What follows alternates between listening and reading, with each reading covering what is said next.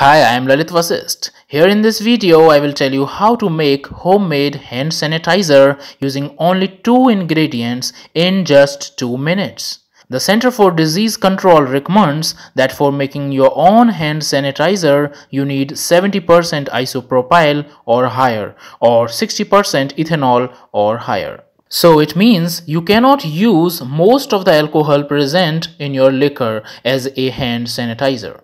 But here I am going to tell you how you can make hand sanitizer at your home in just 2 minutes that really works. So let's see the procedure to make homemade hand sanitizer. The two ingredients that you will need for making this homemade sanitizer are alcohol and aloe vera gel. Now let's discuss the simple procedure to make the homemade sanitizer.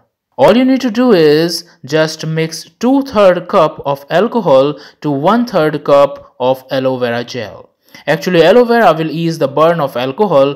It would be great if you have aloe vera plant at your home. You just need to strip the leaves and mash the gel to get 100% pure aloe vera gel. If you want to add some fragrance to mask the alcohol smell in your homemade hand sanitizer, then add some essential oils like lavender or tea tree to it. In this way, you can prepare your own effective hand sanitizer at home. So friends, if you liked the video, then please click on the like button and share it with your friends. And for more such informative and interesting videos, you can subscribe my channel Engineering Made Easy. Thank you for watching the video till the end. See you soon in the next video. Till then, bye bye and take care.